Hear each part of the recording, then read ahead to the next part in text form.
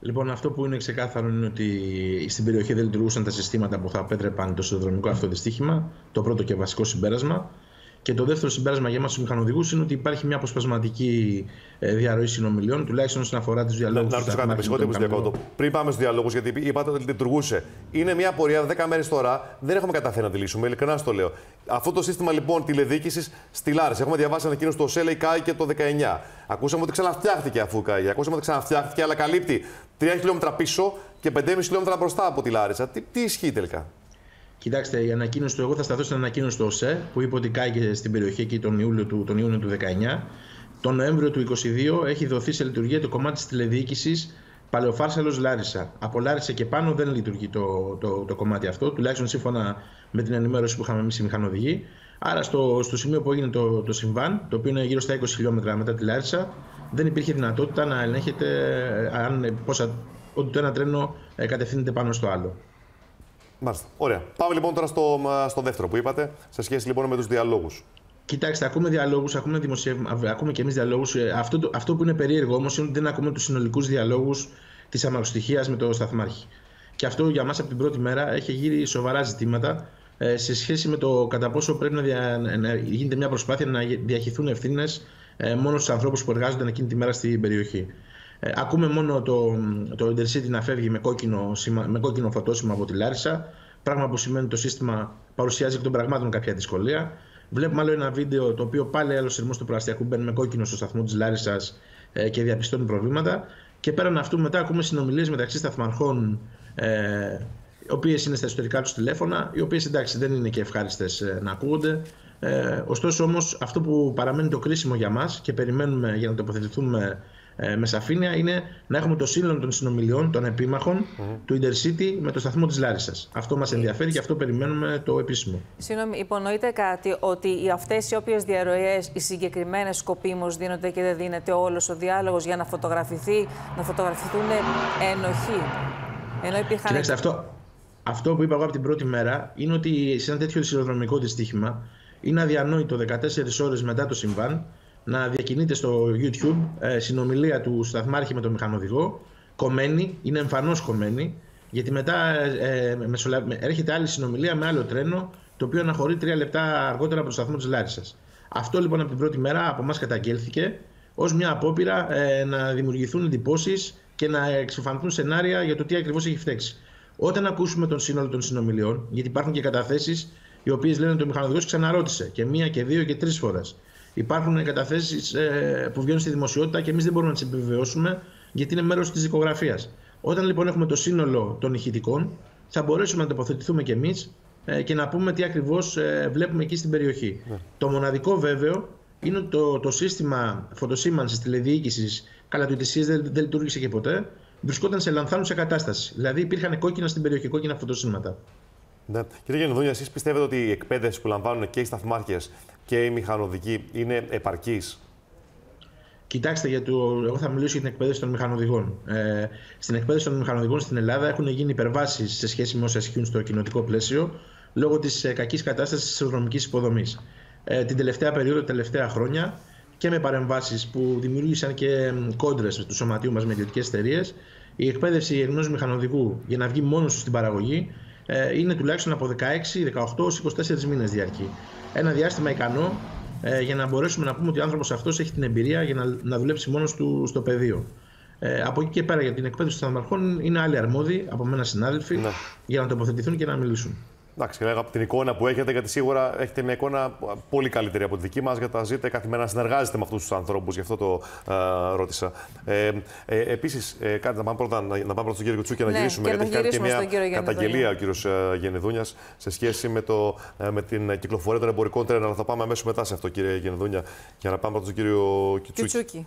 Ελάτε κύριε Κοτσούκη. Ε, έχει γίνει και, μεγάλος, και μεγάλη συζήτηση και θέλαμε και πάνω σε αυτό τη γνώμη σας και θέλουμε και γενικώς φυσικά για την, τι, τι ακριβώς συμβαίνει με, την, με τις διαδρομικές μεταφορές και πώς φτάσαμε ως εδώ. Αλλά και, συγγνώμη, γίνει κουβέντα αν υπάρχουν ρουσφετολογικές προσλήψεις, τοποθετήσεις, μετατάξεις, αποσπάσεις και όλα τα σχετικά. Με αφορμή ναι. το σταθμάρχη το συγκεκριμένο. Ε, παρακαλώ να μου επιτρέψετε πρώτα απ' όλα να κάνω ένα σχόλιο για αυτά που είπε ο κύριος Παπαγιώαννου, ο πρόεδρος του, του ΑΣΕΠ.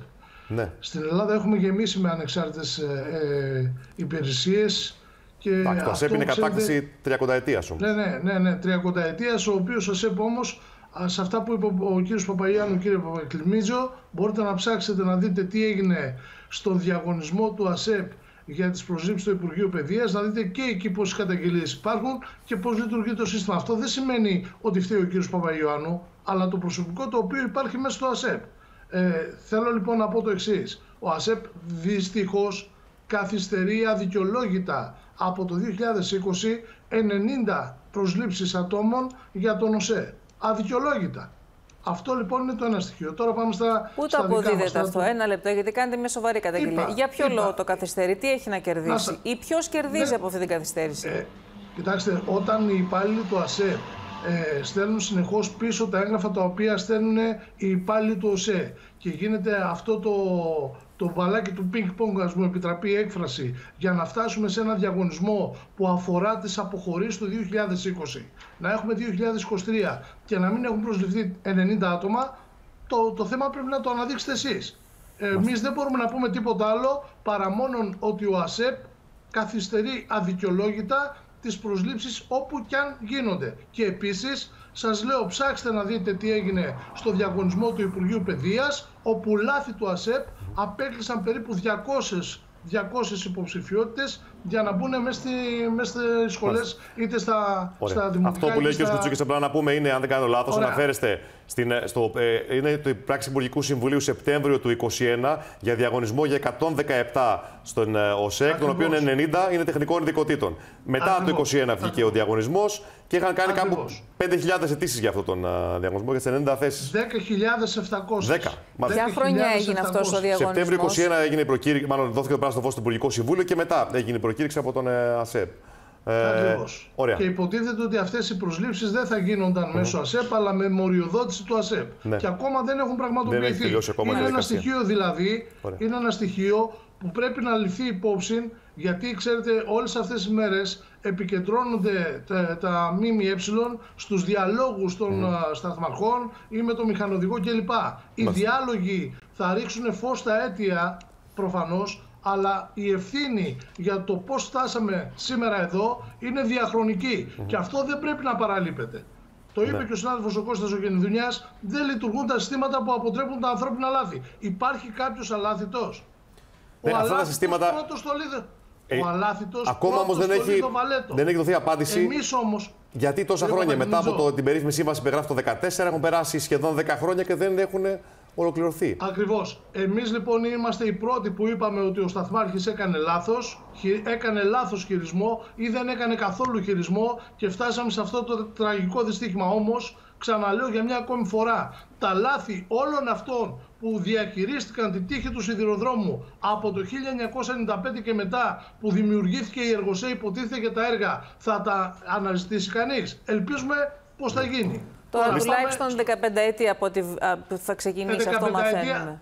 15 ετία. Ας πάνε λοιπόν να δούνε γιατί από το 1995 δεν έχει ολοκληρωθεί ο, ο σιδηροδρομικός άξονας Παθέ, Πάτρα, Αθήνα, ναι. Θεσσαλονίκη, Δομένη με όλα αυτά τα οποία πρέπει και επενδύθηκαν ή αν θέλετε φαγώθηκαν κύριε, κύριε 20 δισεκατομμύρια Θέλω ακόμα κάτι να σας ρωτήσω. Δεν έχω την απορία ειλικρινά αυτές τις ημέρες. Αν είναι τόσο περιζήτητη η θέση του σταθμάρχη του ΟΣΕ, που μάλιστα κάποιος λέγεται ότι έβαλε μέσον, ακόμα δεν έχει αποδειχθεί κάτι τέτοιο, αλλά υπάρχουν τέτοιες καταγγελίες.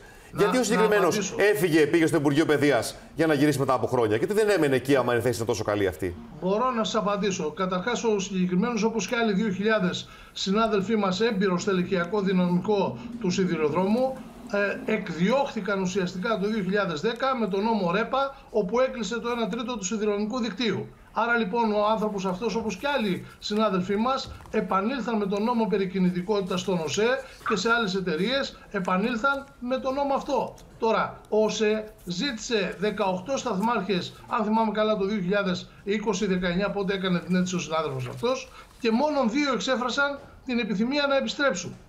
από 18 μόνο δύο. Είναι δυνατόν να μιλάμε για ρουσφέτη; Να ήταν 22 και να κόπηκαν τέσσερις και να μπει και ο συγκεκριμένος, θα μιλάγαμε για ρουσφέτη. Αλλά αυτή η λογική ε, επιτέλους δεν στέκεται πουθενά. Ο παραλογισμός μάλλον κάποιων που προσπαθούν να ρίξουν την ευθύνη ή αν θέλετε να πούνε ότι οι προσλήψεις των ΟΣΕ γίνονται ρουσφετολογικά. Δεν υπάρχει τέτοιο ζήτημα. Και το ζήτημα για μας, για μας δεν είναι πώς επανήλθε ο άνθρωπος αυτός που καλά έκανε και επανήλθε. Το ζήτησε γιατί εκδιώχθηκε το 2010.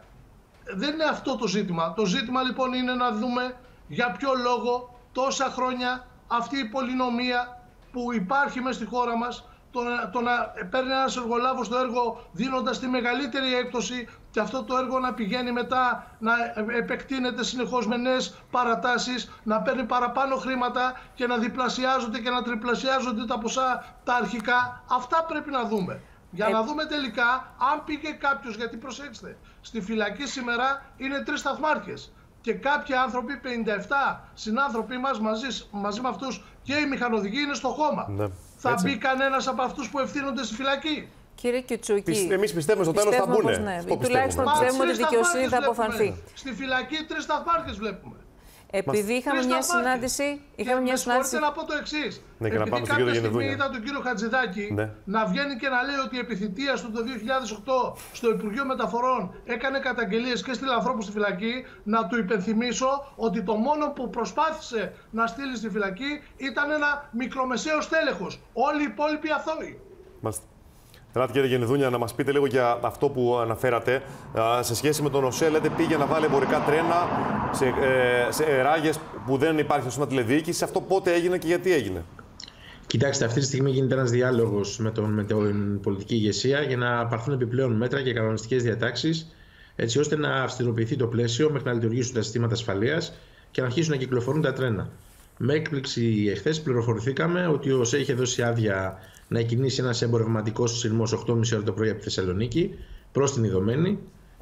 Παρενέβη χωρίς να έχει ληφθεί καμία απόφαση για επιπλέον μέτρα σε μη τηλεδιοικούμενο μέρος του δικτύου. Ε, και εκεί παρενέβη το σωματείο μας. Ε, ευγενικά και με τρόπο μιλήσαμε με τους συναδέλφους μας και το δρομολόγιο δεν πραγματοποιήθηκε. Εμείς το θεωρούμε απαράδεκτο αυτό που έγινε. Όταν γίνεται ένας διάλογος, ε, περιμένουμε να ολοκληρωθεί αυτός, να μπουν οι βάσεις σε όσα θα συμφωνήσουμε και ο σιδηρόδρομο να αρχίσει να επαναλειτουργεί Πότε με ασφάλεια για να μπορεί να γίνει και εμπιστοσύνη του. Κοιτάξτε, σε μια εβδομάδα πιστεύω θα έχουμε τις πρώτες ε, τα πρώτα Με ασφάλεια, αυτά που συζητήσαν εκπρόσωποι σας χθε με τον κύριο Πετρίτη, εγώ επιμένω σε αυτό. Σας καλύπτουν. Θεωρείτε ότι με αυτά δύο σταθμάρχες λιγότερα δρομολόγια είναι προς τη σωστή κατεύθυνση; Εσείς θα είσαστε πάνω στα τρένα. Ναι είναι, και πριν εμείς ήμασταν πάνω στα τρένα, υπήρχε ένα αυστηρό κανονιστικό πλαίσιο. Έτσι. Ε, το, αυτό, που, αυτό που πρέπει να μας πει ο, η κυβέρνηση είναι πότε ακριβώς θα είναι έτοιμα τα συστήματα αυτάς ασφαλείας. Δηλαδή να βάλουμε ένα χρονοδιάγραμμα κάτω, το οποίο να το παρακολουθούμε και εμείς οι εργαζόμενοι όσο μπορούμε, δεν είμαστε εξειδικευμένοι στον τεχνικό αυτό τομέα, για να, για να έχουμε και την εικόνα πότε επιτέλους θα λειτουργήσουν ε, όλα αυτά που Πάντως βλέπω συγκλίνουν και οι δικέ εκτιμήσει και στα νέα βλέπω ένα ρεπορτάζ σήμερα ότι πάμε μάλλον για 22 Μαρτίου. Επανεκκίνηση. Κάπου των... εκεί. Κάπου εκεί. Κάπου εκεί. Μέρος του δικτύου, έτσι, όχι όλα μαζί. Ναι, ναι, ναι. Σιγά σιγά μέρος του δικτύου. Ωραία. Στα πρότυπα των όσων είχαν γίνει σε ευρωπαϊκές χώρες όταν είχαμε αντίστοιχα δυστυχήματα.